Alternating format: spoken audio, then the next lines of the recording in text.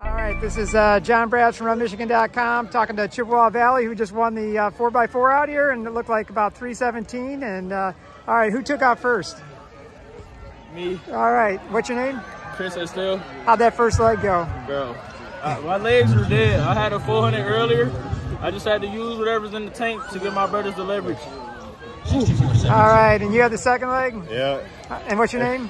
no Morris. And how'd that feel? It felt good. I had to. I promised them boys I'd give them the baton first, so I had to get. The, I had to get the job done. All right, and then you had third leg. What's your name? Aaron Franz. And after a rough handoff, not his fault, but it was just a miscommunication. I just put down what I had. It was uh, not terrible.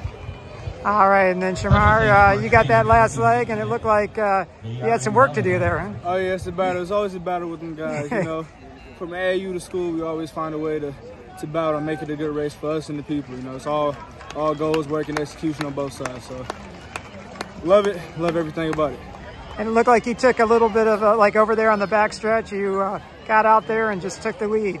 Yeah, I was just you know just waiting for my time to strike, all just you know strategy. So all that was. And how'd it feel holding on there, coming down the straightaway?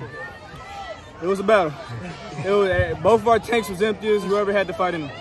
And does it feel good to have three titles out here today? Yeah, it feels good, but most importantly, I, it's our last time with the team, so that's what I really cherish the most, other than the uh, achievements. All right, guys. Well, congratulations on your win out here. Uh, great job.